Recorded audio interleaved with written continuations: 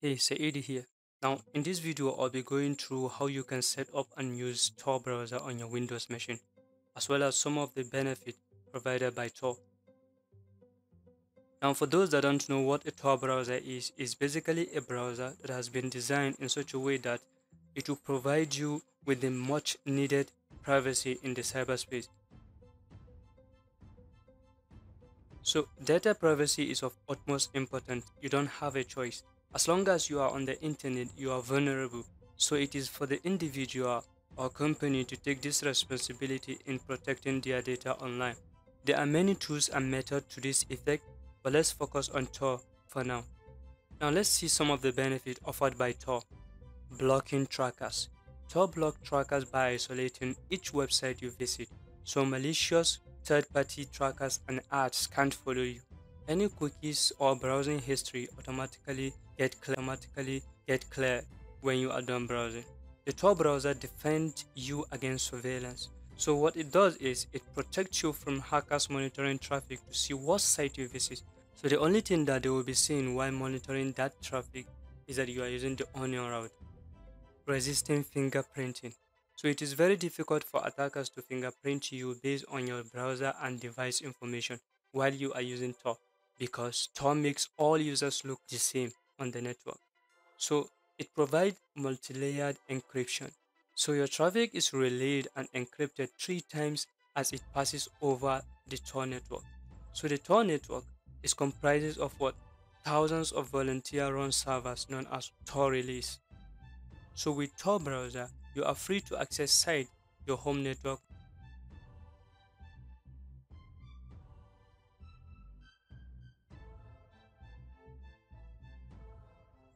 Now, downloading and installing um, your Tor browser is pretty straightforward, just your normal Windows installation.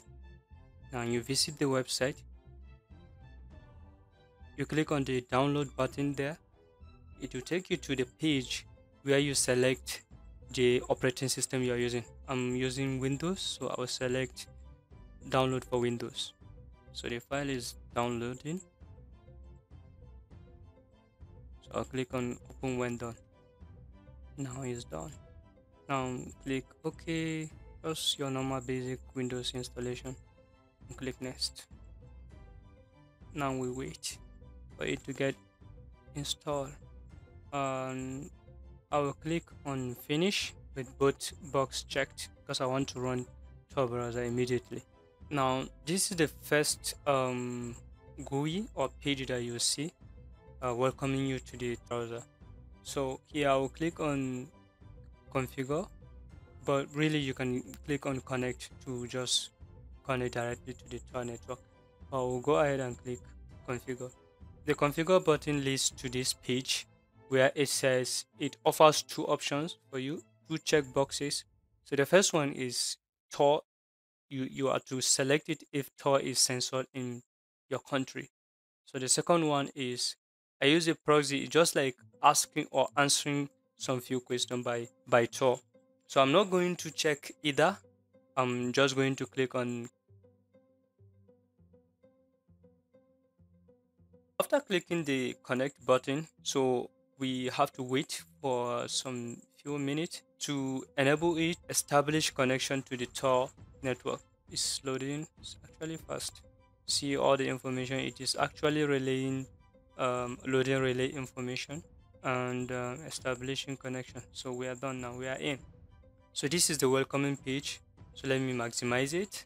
This is the page that you'll be greeted with. You see by default it is using um, DuckDuckGo as a search engine.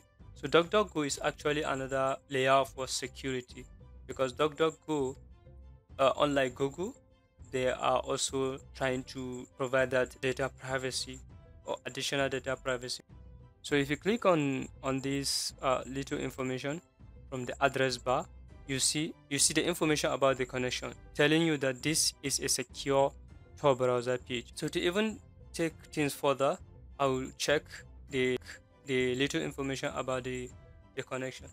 Now what you can see here is is the circuit. The first one is my browser. This is the first starting point. So you now reach a server there in what Germany. So from that server, it reached another server in Germany too. So from Germany, it took me to France. Then it landed on what? The DuckDuckGo.com. So it actually take like three servers from my end to DuckDuckGo.com. So you can see this is the multi-layered encryption. So you can actually decide or if you want to check or if you want to change this the Tor circuit you can you can do that. So you can click on new circuit to enable another route from maybe Germany, then maybe Australia or some other country like that. So let me try and click the new circuit for this side and see. So you can see now it changed from France. sorry, initially it was Germany, Germany, then France, then DuckDuckGo.com. But now as I click this change or new circuit for this site, it has actually changed from Germany to France, then to Germany again, then to DuckDuckGo.com.